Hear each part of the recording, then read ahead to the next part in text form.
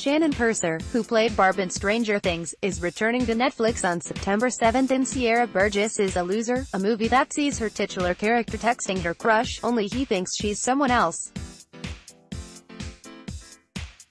The trailer, released Wednesday, shows Sierra is a good student and Veronica, Kristine Froseth, is the popular girl. She also has the attention of Sierra's crush, Jamie, Noah Centineo.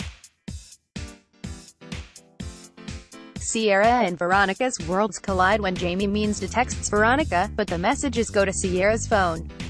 Even though Veronica and Sierra don't get along in the beginning, they hitch a plan. Veronica will help Sierra catfish Jamie if Sierra helps her pass a class. It's called catfishing, and I'm pretty sure it's illegal. Sierra's friend, Dan, R.J. Cyler. They're my words, Sierra argues. He's falling for me. If you can't wait until September, there are other movies and TV shows that retell Cyrano de Bergerac and involve catfishing you can check out.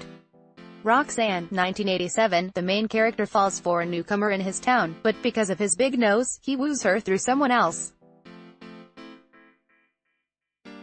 The Truth About Cats and Dogs, 1996, a radio show host falls for a caller but describes herself as her best friend and has that friend pretend to be her when they meet in person. Whatever It Takes 2000, a geeky student and a jock in high school help each other woo their respective crushes, a popular girl and the geek's smart neighbor. Let It Shine, 2012 The Disney musical twist on Cyrano de Bergerac follows a teenager who uses rap songs to tell his crush how he feels, but his best friend gets the credit and the spotlight for a contest. Cyrano musical play, 2018, Game of Thrones. Peter Dinklage will star as the titular character in the adaptation from August 3 to September 2 at the Terris Theatre in Connecticut, Broadway.com announced in May.